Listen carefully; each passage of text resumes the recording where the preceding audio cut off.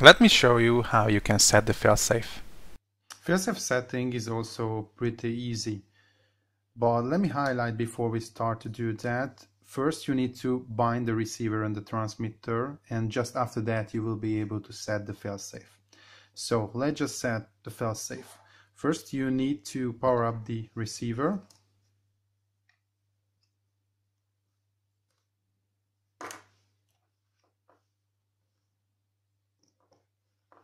okay?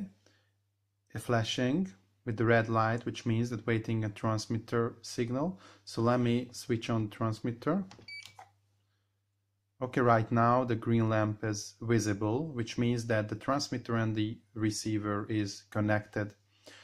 Okay before we go forward you need to move the sticks into the desired position because that will be memorized in the failsafe settings. So I'm you I'm moving the throttle stick into zero position. And the only thing that I need to do is that just push this button for only one sec. And the lamp will flash two times, which means that the failsafe was successfully set.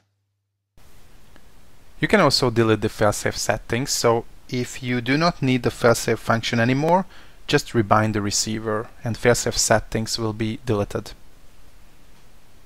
Please subscribe, feel free to share these videos, and do not forget to raise your questions or comments. Thank you for watching.